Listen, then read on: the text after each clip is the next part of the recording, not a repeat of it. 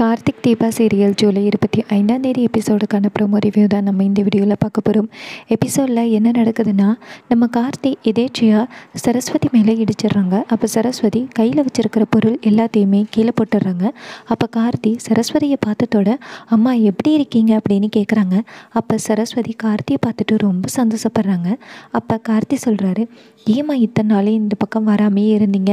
வாங்க இன்றைக்கி எனக்கு பர்த்டே அதனால தான் நீங்கள் வந்திருக்கீங்கன்னு எனக்கு நல்லாவே தெரியும் தெரியும். இத்தனை வருஷமாக வராமல் இப்போ வந்திருக்கீங்க. எனக்கு ரொம்ப ஹாப்பியாக இருக்குது வாங்க வீட்டுக்குள்ளே அப்படின்னு சொல்லிட்டு கார்த்தி சரஸ்வதியோட கையை பிடிச்சி வீட்டுக்குள்ளே அழைச்சிட்டு வராங்க. இதை பார்த்துட்டு அருணாச்சலம் அதிர்ச்சி ஆகுறாரு. அருணாச்சலம் நேராக கார்த்திக்கிட்ட போயிட்டு கார்த்தி என்ன இது? அபிராமி பார்த்தா கோவப்படுவாங்க அப்படிங்கிறாங்க. அப்போ கார்த்தி சொல்கிறாரு அப்பா கண்டிப்பாக கோவப்பட மாட்டாங்க.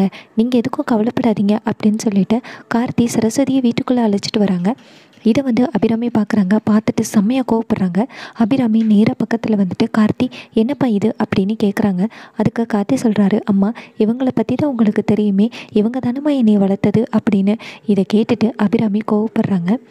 அப்போ நம்ம சரஸ்வதி சொல்கிறாங்க கார்த்திக்கிட்ட கார்த்தி பிறந்த நாளைக்கு உன்னை பார்க்கணும்னு நினச்சேன் பார்த்துட்டேன். நான் வீட்டுக்கு கிளம்புறேன் அப்படிங்கிறாங்க. ஆனால் கார்த்தி சொல்கிறாரு நீங்கள் இங்கே தான் இருக்கணும் எங்கேயும் போகக்கூடாது அப்படின்னு சொல்கிறாங்க ஆனால் சரஸ்வதி சொல்கிறாங்க இங்கே பாருப்பா நான் வீட்டுக்கு கிளம்புறேன் அப்படிங்கிறாங்க.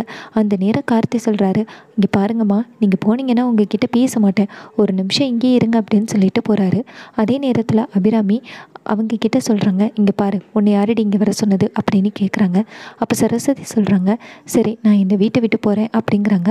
அதே நேரத்தில் கார்த்தி வந்து கேட்குறாரு என்ன நடக்குது இங்கே? அப்படின்னு. அதுக்கு சரஸ்வதி சொல்கிறாங்க கார்த்தி நான் கிளம்புறேன்ப்பா அப்படின்னு. அப்போ கார்த்தி நேராக அபிராமியை பார்த்து அம்மா நீங்கள் ஏதாவது சொன்னீங்களா? அப்படின்னு கேட்குறாங்க அப்போ அபிராமி சொல்கிறாங்க கார்த்தி நான் எதுவுமே சொல்லலை அப்படின்னு.